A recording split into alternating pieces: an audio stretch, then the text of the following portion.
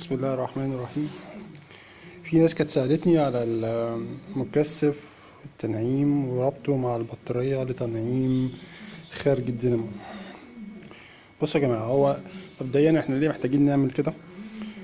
آه، الدينامو وظيفته بينتج آه، تيار كهربي اي سي وبعد كده في جزء مخصوص لتوحيد التيار. آه، بنسميه اللي هي عدد السيليكونات أو انطات السيليكونات حسب المسمى. دي بتخلي التيار من AC ل DC okay لكن برضو التيار بيكون فيه تشوهات اللي بيطلع أو الفولت اللي بيطلع بيكون فيه عالي واطي أو نقاط تقطع في الموجة okay طبعا أنت مش هتحس بيها بس آه، لو في oscilloscope عندك هيبان الموضوع ده. والناس اللي شغالين الكترونيات فاهمين الكلام ده كويس. ف بنحط المكثف دوت. وظيفته إن هو ينعم الموجة إن هو بيلغي التشوه اللي في خارج ال DC دوت بيلغيه وبيخليه أكنه تيار طالع من البطاريه تيار مستمر. في ناس هتقول إن البطارية تشتغل كمكثف وتوحد صحيح. بس قدرة البطارية على ملء الفراغ اللي بين الموجات لحظيا طبعا إحنا بنتكلم في أجزاء من الثانية. القدرة بتكون أقل أقل من المكثف. المكثف يمتاز عن البطارية إن هو يقدر يرمي أمبير عالي جدا مرة واحدة بسرعة. okay؟ فبيقدر يسد الفجوات okay؟ و البطاريه ما عندهاش القدرة دي. صحيح إن بطاريه العربيه مصممة إنها ترمي أمبير عالي بس مش بنفس السرعة والقدرة اللي بي... اللي بيتميز بيها المكثف.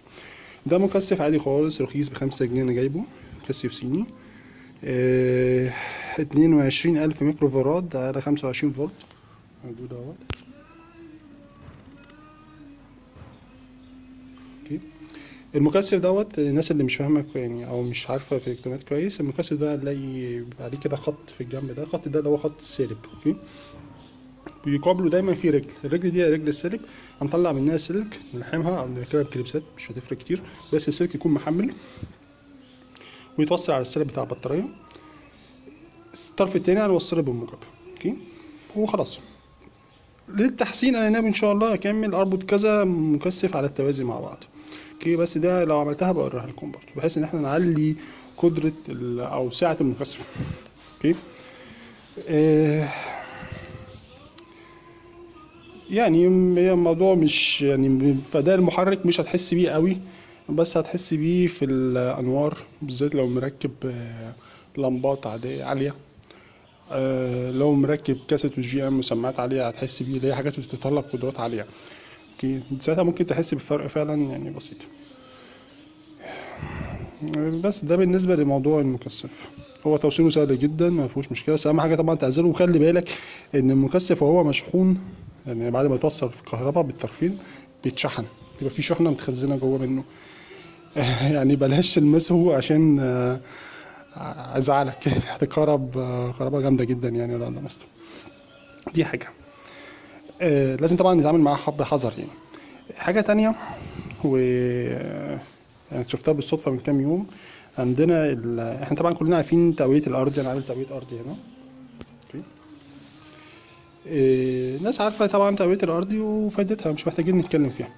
Okay. لكن الجميل بقى إن أنا اكتشفت إن الموجب بيسخن هو كمان وبيسخن جدا لدرجة إن أنا عندي عزل بطارية هنا أنا عامله أنا عايز أقول إن هو سيح عزل بطارية. ده المكان الملامس للموجب دي سيحه فهو بيسخن جدا. Okay والبلاستيك اللي حواليه اتحمص حتى يعني. مش عارف هيبان هنا ولا لأ. احاول أفتح فلاش باين. اتحمص. فلازم يا جماعة نهتم كويس بموضوع تقوية الكابل الكهرباء اللي هو الموجب. والحقيقة ده شيء منطقي. يعني إحنا عندنا العربيه دي كلها بكل أجهزتها كده بكل الأجهزة اللي فيها كلها على بعضها عبارة عن دايرة واحدة. ماشي؟ تبدأ من الموجب وتنتهي في السالب. فما ينفعش إن إحنا نقوي دايرة جزء من الدايرة ونسيب الجزء التاني لأن هو نفس التيار بيعدي على تيار واحد. Okay؟ طيب هناخد آه، للناس برضو اللي عايزة تفهم إزاي نعمل تقوية آه، طرف الموجب. هنربط طبعا آه، هنا في مسمار 10 تحت ال cover دوت. ده الكلام ده لو عندك وتاش أصلي. هتربط آه، كابل محمل طبعا كهرباء. وتسحبه هنا كده وعندك هنا تحت علبة الفيوزات في المسمار ده. المسمار ده يا جماعة ده موجب. حتى هنا هتلاقي فوق غطا العربية وكاتب لك positive okay؟ P okay؟ P positive هنا آه. علامة ال positive أو الموجب يعني. Okay؟ تحت منه دوت تحت المكان دوت هتلاقي المسمار هنا. المسمار ده موجب. هيتربط بس فيها من هنا من المسمار ده للموجب بتاع البطارية. آه، دي أبسط حاجة ممكن تعملها بالنسبة للتقوية يعني تقوية الموجب. أوكي؟ آه، ولا في أي استفسارات